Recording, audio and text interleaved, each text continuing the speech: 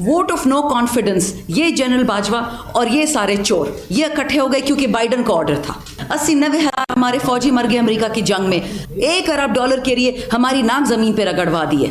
ये समझते हैं कि हम कचरा ये हमें ज़मीन में दबा देंगे। ये साइफर अभी तक खुला नहीं है। जिस दिन ये हाथ मेरे लगा ना साइफर मैं खुद उसको छापूँगी अखबार में। हम वो जर्रा हैं, वो बीज हैं, ये दबाएँगे। हम वो दरख्त बनेंगे, इनकी याद रहेगी इनको। बिस्मिल्लाह रहीम ये एक रिक्वेस्ट कर सकती हूँ? जी मेरा ये वाला कान ख़राब है तो जब शोर होता है ना, मुझे अपनी ही आवाज़ नहीं सुनाई देती तो प्लीज़ मैं ब्रीफ बात करूँगी, पाँच मिनट से ज़्यादा नहीं करूँगी। शुक्रिया। आज आपके सामने पाकिस्तान के सबसे, जो हमारे तगड़े वकला हैं, इंसाफ लॉयर्स फोरम के आपके सामने बैठे हुए हैं। उनकी सबकी शुक्रगुजार हूँ। खान साहब की एक कॉल पे आईएलएफ ने लब्बैक कहा, और हम निकले सारे पाकिस्तान में, इस वक्त तक तकरीबन छियानवे आईएलएफ के कन्वेंशन हमने सारे पाकिस्तान में करवा दिए।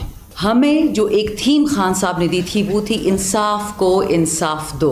ऑल ये अच्छी बात नहीं है जो ये मैं कहने वाली हूँ, लेकिन जब छह जजानों ने खत लिखा कि उनके साथ जिस किस्म का जुल्म और बेहरमती हो रही है, सारे पाकिस्तान को समझ आ गई कि जो इमरान खान कह रहा था दो साल से, जो पीटीआई का वर्कर कह रहा था, जो पीटीआई का वकील कह रहा था, जो पाकिस्तान का बेगुनाह शहरी कह रहा था, जो अरशद शरीफ शहीद कह रहा था, जो ज़िले शाह शहीद कह रहा था, वो बात सच हो गई। लेकिन हमें दो साल उसमें काटने पड़े यहाँ तक आने में। जब तक उन जजानों ने खत ने लिखा था, कोई यकीन करने को तैयार ही नहीं था। जी ड्रामा है, जी पीटीआई है, जी सियासी है। अब तो समझ आ गई ना कि इंसाफ को क्यों इंसाफ देना है? मेरा भाई यहाँ बैठा इन दो भाइयों के साथ, उस्मान और उमर के साथ जो हुआ, एक अल्लाह को पता है। इनके खानदानों के साथ, इनकी खातन के साथ, इनकी वालदा एक शेरनी है, असली शेरनी। वो नकली चमड़े वाली नहीं। उन्होंने बेटों की कुर्बानी दी, बट इमरान खान की कुर्बानी नहीं दी। ये होता है वतन से प्यार। ये जो डेस्पिरेशन की कहानी है ना, ये सिर्फ़ इसलिए है कि ये दो, तीन, चार चोर खानदान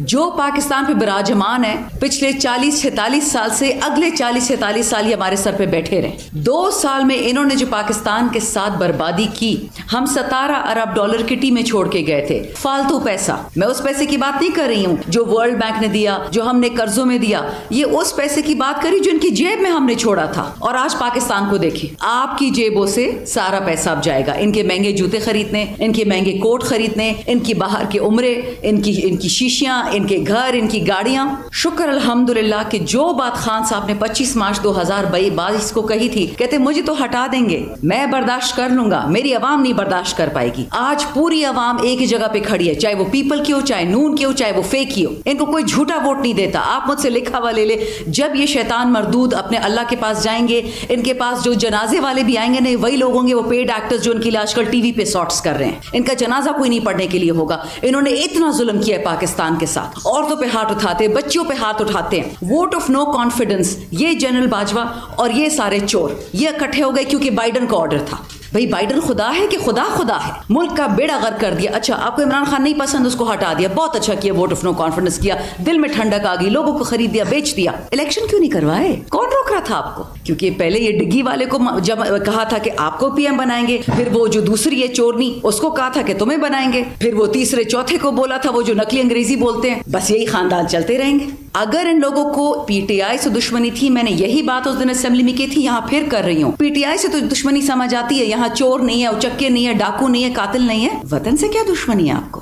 क्योंकि ये जो सब कुछ हुआ है, ये 25 मई, ये नौ मई ये ज़िले शाह, ये अरशद शरीफ, ये खान साहब पे गोलियाँ चलाना, ये डॉक्टर यास्मीन, ये सनम जावेद, तैयबा राजा आयशा भुट्टा, खतीजा शाह, बथेरों हमारे हज़ारों वर्कर पड़े हुए शरियार अफरीदी, अली मोहम्मद खान, असद कैसर, शेर अफजल मरवत, जुनेद अकबर आमिर डोगर, आज हमारे अमीर सुल्तान को उठा लिया जंग से तीन दिन हो गए हमारे एम एन ए क्यों?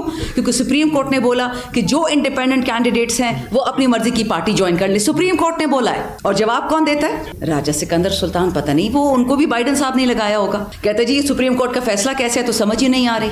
बल्ला छीन लिया, हमारे कागज़ छीन लिए तजवीज़ कुनिंदा, ताइद कुनिंदा छीन लिया, जिंदगियाँ हमारी छीन ली, हमारे वर्कर छीन लिए, और क्या छीनना है? अब जो आज प्रेस कॉन्फ्रेंस हुई है, उसमें बहुत लोगों ने बात की, मैं उस पर ज़्यादा बात नहीं करूँगी बट ये याद रखें बात। अभी सनम जावेद का केस हो रहा है हाई कोर्ट में, कि वो बलूचिस्तान नहीं जाएगी, क्योंकि हो ही नहीं सकता।